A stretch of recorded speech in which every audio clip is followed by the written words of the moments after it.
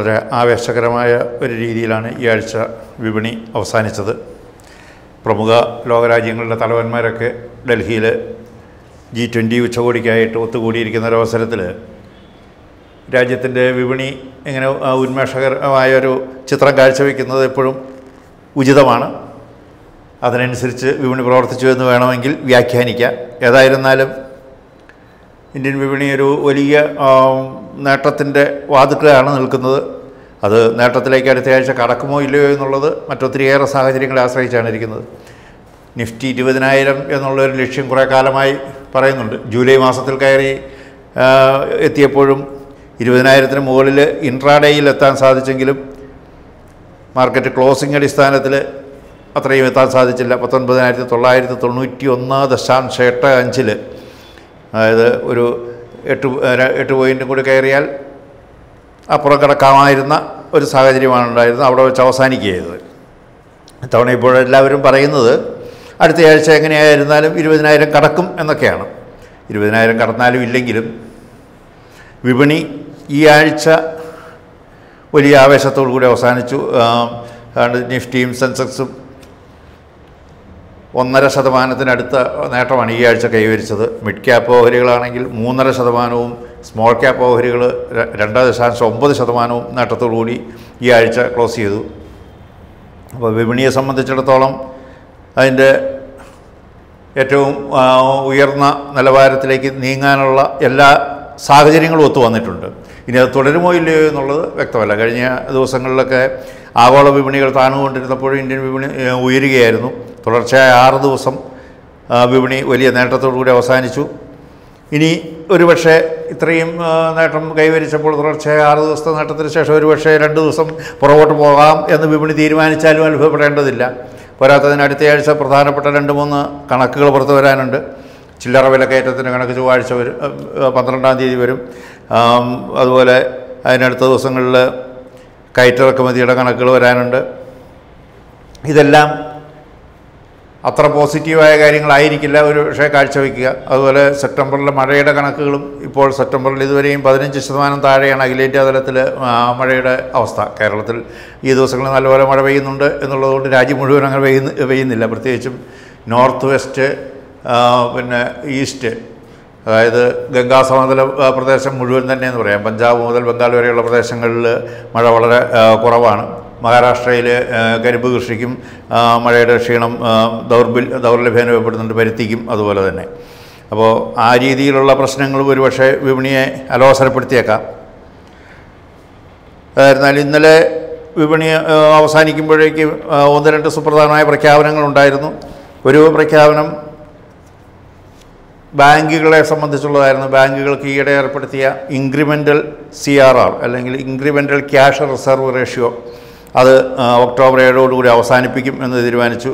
അതിന്റെ ഒരു ഭാഗമായിട്ട് അതുവഴി രണ്ടായിരം രൂപ നോട്ടുകൾ പിൻവലിച്ചതിനെ തുടർന്നുണ്ടായ അമിത പണലഭ്യത കുറയ്ക്കാൻ വേണ്ടിയിട്ടാണ് റിസർവ് ബാങ്ക് കഴിഞ്ഞതിന്റെ മുമ്പിലത്തെ മാസം ഈ ഇൻക്രിമെന്റൽ സി ആർ ആർ ചുമത്തിയത്. അപ്പോൾ അധികമായിട്ട് അവർക്ക് മെയ് മാസത്തിൽ അധികമായിട്ട് വന്ന നിക്ഷേപത്തിൽ നിന്ന് പത്ത് ശതമാനം പിടിച്ചു വയ്ക്കുകയാണ് ചെയ്തത്. അപ്പോൾ അത് ഏതാണ്ട് ഒന്ന് ദശാംശം ഒന്ന് ലക്ഷം കോടി രൂപ റിസർവ് ബാങ്കിൽ ഇങ്ങനെ പിടിച്ചു വെച്ചിരുന്നു. ബാങ്കുകൾക്ക് സംബന്ധിച്ച് ആ തുക അടുത്ത ദിവസങ്ങളിലായിട്ട് തിരിച്ചു കിട്ടും. അതിന്റെ നാലിലൊന്ന് ഇന്ന് റിലീസ് ചെയ്തു. ബാക്കി ഉള്ളതിൽ നാലിലൊന്ന് സെപ്റ്റംബർ ഇരുപത്തി മൂന്നിന് റിലീസ് ചെയ്യും. അവശേഷിക്കുന്ന അമ്പത് ശതമാനം ഒക്ടോബർ ഏഴിന് റിലീസ് ചെയ്യും. അപ്പോൾ ഇത് ബാങ്കുകളെ സംബന്ധിച്ച് ബാങ്കുകൾക്ക് വായ്പ കൊടുക്കുവാനും മറ്റും കൂടുതൽ തുക ലഭ്യമാക്കുന്ന ഒരു സാഹചര്യമാണ്. ഈയിടെ ഇത് പിൻപിൽ ഏർപ്പെടു ഇത് അധിക ഇൻക്രിമെന്റൽ സി ആർ ആർ ഏർപ്പെടുത്തിയതിനെ തുടർന്ന് ബാങ്കുകൾക്ക് ഹ്രസ്വകാല വായ്പകൾ കൂടുതൽ എടുക്കേണ്ടി വന്നു. എങ്കിലും ഉദ്ദേശിച്ചത്ര ഗുരുതരമായിരുന്നില്ല സ്ഥിതിവിശേഷം. രണ്ട് മൂന്ന് ദിവസത്തേക്കൊക്കെ മാത്രമേ അത്തരം പ്രശ്നങ്ങൾ ഉണ്ടായിരുന്നുള്ളൂ. ബാക്കി ദിവസങ്ങളിൽ ആവശ്യത്തിന് പണലഭ്യത വിപണിയിലുണ്ടായിരുന്നു. ഒന്നാമത്തെ കാര്യം വ്യവസായ മേഖല കാര്യമായ വായ്പകൾ എടുത്തു തുടങ്ങിയിട്ടില്ല എന്നുള്ളതാണ്. കോർപ്പറേറ്റ് വായ്പകൾ ഇപ്പോഴും കാര്യമായി വർദ്ധിച്ചിട്ടില്ല. വ്യക്തികളുടെയും മറ്റും വായ്പകളാണ് വർദ്ധിച്ചിട്ടുള്ളത്. അതിന്റെ തുക വളരെ പരിമിതമാണല്ലോ അപ്പോൾ ബാങ്കുകളെ സംബന്ധിച്ച് ബാങ്കുകളിൽ പണമുണ്ട് ധാരാളമായിട്ട് പണമുണ്ട്.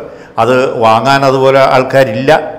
വായ്പ വിതരണം പതിനാറ് ശതമാനമൊക്കെ വർദ്ധിക്കുന്നുണ്ടെങ്കിലും നിക്ഷേപം വർദ്ധിക്കുന്നത് അതിനേക്കാൾ ഉയർന്ന തോതിലാണ്. അതുകൊണ്ടാണ് ഇൻക്രിമെന്റൽ സി ആർ ആർ പിടിച്ചിട്ടും ബാങ്കുകൾക്ക് വലിയ ക്ഷീണം ഉണ്ടാകാത്തത്. ഏതായിരുന്നാലും ബാങ്കുകൾക്ക് കൂടുതൽ വരുമാനം ഉണ്ടാകുന്നൊരു സാഹചര്യം തെളിയുന്നതുകൊണ്ട് ബാങ്ക് ഓഹരികൾ ഇന്നലെ ഇന്നലെ മിനിയാന്നും നല്ലപോലെ കയറ്റം കാണിച്ചു. രണ്ട് രണ്ട് ദിവസം കൊണ്ട് ഒന്നര ശതമാനം ഉയർന്നു.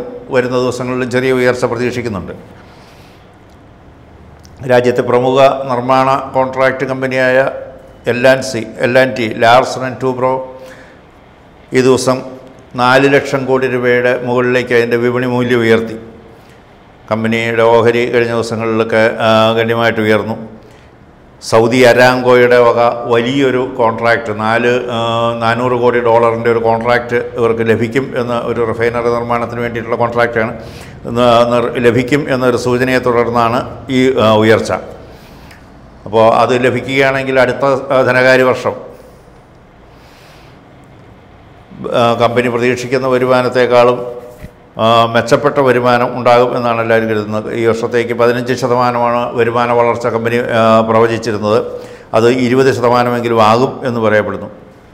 കമ്പനി കമ്പനി ഈ വർഷം നല്ലതുപോലെ കോൺട്രാക്റ്റുകൾ കിട്ടി വരികയാണ്. ജൂണിൽ അവസാനിച്ച മൂന്ന് മാസം അറുപതിനായിരം കോടി രൂപയുടെ കരാറുകളാണ് ലഭിച്ചത്.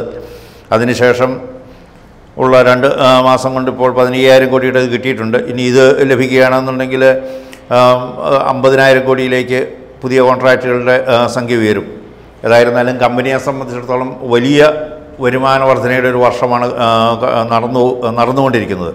അതുകൊണ്ട് തന്നെ ഈ വർഷം ജനുവരി മുതൽ ഐ ഓഹരി ഏതാണ്ട് നാൽപ്പത് ശതമാനത്തോളം ഉയർന്നിട്ടുണ്ട്. ചൈന അവരുടെ യൂറിയ കയറ്റുമതി നിരോധിച്ചു. യൂറിയ കയറ്റുമതി നിരോധിച്ചത് സ്വാഭാവികമായിട്ടും ഇന്ത്യയിലെ രാസവള കമ്പനികളെ വലിയ ക്ഷീണമാണ് ഉണ്ടാക്കുന്നത്. രാസവള യൂറിയയുടെ വില ആഗോളതലത്തിൽ തന്നെ ഉയർന്നു. ചൈനയിലും യൂറിയ വില ഉയർന്നു അതിന്റെ ലഭ്യതയും കുറഞ്ഞു. ആ സാഹചര്യത്തിലാണ് ചൈന കയറ്റുമതി പൂർണമായിട്ട് നിരോധിച്ചത്. ഇതിനു മുമ്പ് രണ്ടായിരത്തി ഇരുപത്തൊന്നിലും ചൈന കയറ്റുമതി നിരോധിച്ചിരുന്നു. ആ അവസരത്തിൽ ഇന്ത്യയിലും രാസവളങ്ങൾക്ക് വലിയ വില കൊടുക്കേണ്ടി വന്നു. രണ്ടായിരത്തി ഇരുപത്തിരണ്ട് വർഷം രാസവള സബ്സിഡി ഇനത്തിൽ സർക്കാരിന് രണ്ട് ലക്ഷം കോടി രൂപയോളം അധിക ചെലവ് വേണ്ടി വന്നു. യൂറിയ സർക്കാരിന്റെ നിയന്ത്ര സർക്കാർ നിയന്ത്രിക്കുന്ന വിലയിലാണ് വിൽക്കാൻ പറ്റുകയുള്ളൂ. അപ്പോൾ അതിന്റെ വിൽപ്പനയിൽ ഇറക്കുമതി ചിലവ് കൂടുതലായി കഴിഞ്ഞാൽ സ്വാഭാവികമായിട്ടും അതിന്റെ ബാക്കി ഭാഗം സർക്കാർ വഹിച്ച് വില പിടിച്ചു നിർത്തുകയാണ് പതിവ്. ഈ വർഷവും അതുപോലുള്ള സാഹചര്യം ഉണ്ടാകും എന്ന ഒരു സൂചനയാണ് ഇപ്പോൾ ഇതുവരെ ഉള്ളത്. പോരാത്തതിന് റഷ്യയിൽ നിന്നുള്ള കയറ്റുമതിയുടെ കാര്യത്തിലും പ്രശ്നമുണ്ട്. ഇരു രണ്ടായിരത്തി ഇരുപത്തൊന്നിൽ ആ പ്രശ്നമില്ലായിരുന്നു. രണ്ടായിരത്തി ഇരുപത്തി മൂന്ന് അവസാനത്തിലേക്കിപ്പോൾ റഷ്യയിൽ നിന്നുള്ള കയറ്റുമതിയും പ്രോബ്ലം തടസ്സമാകാൻ പോവുകയാണ്. കാരണം അവിടെ യുക്രൈൻ യുദ്ധത്തെ തുടർന്ന് റഷ്യയിൽ നിന്നുള്ള കയറ്റുമതിക്കും അത് വാങ്ങലിനും ഒക്കെ ഒത്തിരിയേറെ നിയന്ത്രണങ്ങളും നിര നിരോധനങ്ങളും ഒക്കെ ഉണ്ട്. അപ്പോൾ അതായിരുന്നാലും രാസവള കമ്പനികളെ സംബന്ധിച്ചും ചെറുതല്ലാത്ത പ്രശ്നങ്ങളാണ് ഉണ്ടാവുക. യൂറിയയുടെ വില മാത്രമല്ല യൂറിയ ഉപയോഗിച്ചുണ്ടാക്കുന്ന സംയുക്ത വളങ്ങൾ കോംപ്ലക്സ് വളങ്ങൾക്ക് വില കൂടും ഡി എ പി തുടങ്ങിയവയുടെ വില കൂടും. അതുപോലെ ഇതുമായിട്ട് അനുബന്ധമായിട്ടുള്ള മ്യൂറേറ്റ് ഓഫ് പൊട്ടാഷിന്റെ വിലയും വർദ്ധിക്കും. അപ്പോൾ ഇതെല്ലാം അത്ര മെച്ചപ്പെട്ടതല്ലാത്തൊരു സാഹചര്യമാണ് ഉണ്ടാക്കുന്നത്. പോരാത്തതിന് കാലവർഷപ്പിഴവ് കൂടിയാകുമ്പോൾ വലിയ പ്രശ്നങ്ങൾ പ്രതീക്ഷിക്കാവുന്നതാണ്. ഡോളർ വില ഈ ആഴ്ച എൺപത്തി മൂന്ന് രൂപയുടെ മുകളിലേക്ക് കയറി രണ്ട് ദിവസം അവിടെ നിന്നു. മൂന്നാമത്തെ ദിവസമായ ഇന്നലെ ഡോളർ ഇരുപത്തേഴ് പൈസ നഷ്ടത്തിൽ എൺപത്തിരണ്ട് രൂപ തൊണ്ണൂറ്റിനാല് പൈസയിൽ ക്ലോസ് ചെയ്തു. വലിയ തോതിൽ റിസർവ് ബാങ്ക് വിപണിയിൽ ഇടപെട്ടതിന് ശേഷമാണ് ഇത്രയും കുറച്ചെടുക്കാൻ സാധിച്ചത്. പക്ഷേ അത് എത്ര ദിവസത്തേക്ക് നിൽക്കും എന്നുള്ളത് ഉറപ്പില്ല. ഇന്നലെ വൈകുന്നേരം ക്ലോസ് ചെയ്യുമ്പോഴും ക്ലോസ് ചെയ്തതിന് ശേഷം ഇന്ത്യൻ വിപണി ക്ലോസ് ചെയ്തതിന് ശേഷം ഡോളർ സൂചിക വീണ്ടും താഴ്ന്നു. അല്ല ഉയർന്നു. ഡോളർ നൂറ്റി അഞ്ച് ദശാംശം പൂജ്യം ആറിലേക്ക് ഡോളർ സൂചിക ഉയർന്നാണ് നിൽക്കുന്നത്. അപ്പോൾ അതനുസരിച്ച് വരുമ്പോൾ തിങ്കളാഴ്ച വീണ്ടും ഡോളർ കയറുകയും രൂപ താഴുകയും ചെയ്യാനുള്ള എല്ലാ സാധ്യതയുമാണ് കാണപ്പെടുന്നത്. ഏതായിരുന്നാലും അയൽ രാജ്യങ്ങളുടെയും ഇന്ത്യയുടെ വ്യാപാര പാർട്ട്നേഴ്സിന്റെയും കറൻസികളുമായിട്ടൊക്കെ താരതമ്യത്തിൽ മാത്രമേ ഇത് മുന്നോട്ട് കൊണ്ടുപോകാൻ സാധിക്കുകയുള്ളൂ. ഇന്ത്യയെ സംബന്ധിച്ചും ഇന്ത്യയുടെ അയൽ രാജ്യമായ ചൈനയുടെ യുവാൻ പതിനാറ് വർഷത്തിനുള്ളിൽ ഏറ്റവും താഴ്ന്ന നിലവാരത്തിൽ എത്തി നിൽക്കുകയാണ്. അപ്പോൾ ഇന്ത്യൻ രൂപയ്ക്ക് അതിനെ മറികടന്ന് ഒത്തിരി ഉയർന്നു നിൽക്കാനും സാധ്യമല്ല. അതൊരു വിഷയമായിട്ട് അടുത്ത ആഴ്ചയും രൂപയുടെ താഴ്ച നമുക്ക് പ്രതീക്ഷിക്കാം. റെയിൽവേ ഓഹരികൾ വീണ്ടും ഉയർന്നുകൊണ്ടിരിക്കുകയാണ്. I R S C RITES R V N L Titagarh rail assistance തുടങ്ങിയവയെല്ലാം. ഏതാണ്ട് വെള്ളിയാഴ്ച ഏതാണ്ട് ഏഴര ശതമാനം വരെ ഇവയിൽ പലതും ഉയർന്നു. അതിന്റെ പ്രധാന കാരണമെന്ന് പറയുന്നത് ഗൾഫ് യൂറോപ്പ് ഇന്ത്യ അങ്ങനെ ഒരു റെയിൽവേ ഷിപ്പിംഗ് കോറിഡോർ തുറക്കുന്നതിനുള്ള ഒരു നീക്കത്തിന് അമേരിക്കയും യൂറോപ്യൻ യൂണിയനും പിന്തുണ പ്രഖ്യാപിച്ചതാണ്. അപ്പോൾ അത് സംബന്ധിച്ച സൂചനയെ തുടർന്നാണ് ഇന്നലെ നിരക്ക് ഉയർന്നത് ഇവയുടെ വില ഉയർന്നത്. ഇന്ന് ജി ട്വന്റി ഉച്ചകോടിയിൽ അമേരിക്ക അത് പ്രഖ്യാപിക്കുകയും ചെയ്തു. സ്വാഭാവികമായിട്ടും വരുന്ന ദിവസങ്ങളിലും റെയിൽവേ ഓഹരികൾക്ക് കാര്യമായ നേട്ടം പ്രതീക്ഷിക്കാൻ റെയിൽവേക്ക് മാത്രമല്ല ഷിപ്പിംഗ് ഓഹരികൾക്കും അതുവഴി നേട്ടമുണ്ടാകും എന്നുള്ളതാണ് പ്രതീക്ഷിക്കുന്നത്. സൗദി അറേബ്യയിലും മറ്റും ഒരു ബഹിരാഷ്ട്ര തുറമുഖം തുറക്കുന്നത് നിർമ്മിക്കുന്നത് അടക്കമുള്ള കാര്യങ്ങൾ ഇതിന്റെ ഭാഗമായിട്ടുണ്ടാകും. അത് കുറേ കൂടി കയറ്റുമതി വ്യാപാരത്തെയൊക്കെ പ്രോത്സാഹിപ്പിക്കുമെന്നാണ് പ്രതീക്ഷിക്കുന്നത്. അപ്പോൾ ഇത്തരം കാര്യങ്ങളിൽ ഈ ഡിസൈനിങ്ങും മറ്റും നടത്തുന്ന റൈറ്റ്സിന് കഴിഞ്ഞ ദിവസം തന്നെ രണ്ട് ഏഴ് ശതമാനം ഏഴര ശതമാനം കണ്ട് ഓഹരി വില ഉയർന്നു. അതിന്റെ ഓഹരി കഴിഞ്ഞ ഒരു വർഷം കൊണ്ട് രണ്ട് ഇരട്ടിയിലേറെ ഇരട്ടിയിലേറെയായിട്ടുണ്ട്. റെയിൽവേ ഫിനാൻസ് കോർപ്പറേഷന്റെ ഓഹരി മൂന്നേ മുക്കാൽ ശതമാനം ഉയർന്നു. Railway rail Vikas Nigam limited എന്ന ആർ വി എൻ എല്ലിന്റെ വില നാലേ മുക്കാൽ ശതമാനം ഉയർന്നു. ടെട്ടാഗഡ് റെയിൽ സിസ്റ്റംസിന്റെ വില രണ്ടര ശതമാനം ഉയർന്നു. ഇതെല്ലാം India west Asia Europe rail shipping ലിങ്കേജിന്റെ ഭാഗമായിട്ട് വലിയ കോൺട്രാക്റ്റുകളും പരിപാടികളും ഒക്കെ ഇവർക്ക് കിട്ടും എന്നുള്ള അടിസ്ഥാനത്തിലാണ്. അത് തുടർന്നുള്ള ദിവസങ്ങളിലും അതിന്റെ മെച്ച അതിന്റെ മെച്ചം ഇവർക്ക് ഉണ്ടാകാൻ സാധ്യതയുണ്ട്. ഇന്ത്യയിലെ പ്രമുഖ ഷിപ്പിംഗ് ഷിപ്പ് ബിൽഡേഴ്സായ മസഗോണ്ടോക്ക് ഷിപ്പ് യാർഡിന് അമേരിക്കയുടെ കപ്പലുകൾ നന്നാക്കാനുള്ള യുദ്ധക്കപ്പലുകളും മറ്റും നന്നാക്കാനുള്ള ഒരു കരാറിന്റെ കരാർ ലഭിച്ചു. ഇതേ തുടർന്ന് അതിന്റെ ഓഹരി വില കഴിഞ്ഞ ദിവസങ്ങളിൽ രണ്ട് ദിവസം കൊണ്ട് ഇരുപത്തി ഒമ്പത് ശതമാനമാണ് ഉയർന്നത്. അമേരിക്കയുടെ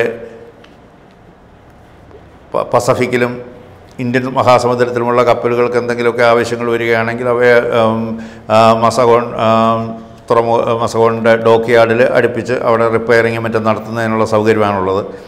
അത് ഇന്ത്യ അമേരിക്ക സ്ട്രാറ്റജിക് റിലേഷൻഷിപ്പിന്റെ അല്ലെങ്കിൽ പ്രതിരോധ മേഖലയിലുള്ള സഹകരണത്തിന്റെ ഒരു തുടർച്ചയായിട്ടാണ് മസഗോൺ ഡോക്ക് യാർഡിന് ഈ സൗകര്യം ലഭിച്ചിരിക്കുന്നത്. അത് കൂടുതൽ വരുമാനവും ആ കമ്പനിക്ക് ഉണ്ടാക്കും. ഏതായിരുന്നാലും മസഗോൺ ഡോക്കിയാർഡിനെ സംബന്ധിച്ച് വേറെ ഒത്തിരിയേറെ നല്ല വാർത്തകൾ ഈ വർഷം ഉണ്ടായിരുന്നു. ഈ വർഷം ആറ് മാസം കൊണ്ട് തന്നെ ഏതാണ്ട് ഇരുന്നൂറ്റി പതിനാല് ശതമാനം അതായത് വിലയുടെ മൂന്നിരട്ടിയിലേക്ക് അതിന്റെ വില കയറി. കഴിഞ്ഞ ദിവസങ്ങളിൽ കൊച്ചിൻ ഷിപ്പ് യാർഡിനും ഇതുപോലെ നല്ല നേട്ടം ഉണ്ടായിട്ടുണ്ട്. കൊച്ചിൻ ഷിപ്പ് യാർഡിൽ ഒരു എയർക്രാഫ്റ്റ് കാരിയർ കൂടി നേവി നിർമ്മിക്കും എന്നാണ് സൂചന. അത് നിർമ്മിക്കുന്ന ഒരു സാഹചര്യം വന്നു കഴിഞ്ഞാൽ കോൺട്രാ വലിയൊരു തുകയുടെ കോൺട്രാക്റ്റ് ആയിരിക്കും. എന്ന് മാത്രമല്ല ഒന്ന് രണ്ട് വർഷം കൊണ്ട് വളരെ വലിയ ആദായം ലഭിക്കുന്ന ഒന്നുമായിരിക്കും കൊച്ചിൻ ഷിപ്പ് യാർഡിനത് അതിന്റെ അടിസ്ഥാനത്തിലാണ് കൊച്ചിൻ ഷിപ്പ് യാർഡിന്റെ ഓഹരികൾ കഴിഞ്ഞ ആഴ്ച കണ്ട് ഇരുപത് ശതമാനത്തോളം ഉയർന്നത്. അപ്പോൾ ഇങ്ങനെ വളരെ പോസിറ്റീവായ ഒരു ഇതിലാണ് വിപണി നിൽക്കുന്നത്. യൂറോപ്യൻ അമേരിക്കൻ വിപണികൾ കഴിഞ്ഞ ദിവസം ചെറിയ നേട്ടത്തോടുകൂടി അവസാനിച്ചു. പക്ഷേ ആഗോള വിപണിയിൽ പെട്രോൾ പെട്രോളിയത്തിന്റെ വില ഉയർന്നു നിൽക്കുന്നത് വരുന്ന ആഴ്ചയിലും പ്രശ്നങ്ങളുണ്ടാക്കാം ഡോളറിന്റെ കയറ്റവും വിപണിയെ സംബന്ധിച്ചിടത്തോളം അത്ര സുഖകരമായ കാര്യമല്ല. ചില്ലറ വില കയറ്റത്തിന്റെ കണക്കുകൾ പുറത്തു വരുമ്പോൾ അതും വിപണിയെ സംബന്ധിച്ച് ചിലപ്പോൾ ഞെട്ടലുണ്ടാക്കിയാൽ അത്ഭുതപ്പെടാനില്ല. ഏതായിരുന്നാൽ ഈ ആഴ്ച വലിയ നേട്ടത്തോടു കൂടി അവസാനിച്ച വിപണി വരുന്നയാഴ്ച ഒന്നുകിൽ റെക്കോർഡ് നിലവാരത്തിലേക്ക് ഉയരുകയോ അല്ലെങ്കിൽ തിരുത്തുകയോ ചെയ്യാനുള്ള സാധ്യതയാണ് മുന്നിൽ കാണുന്നത്.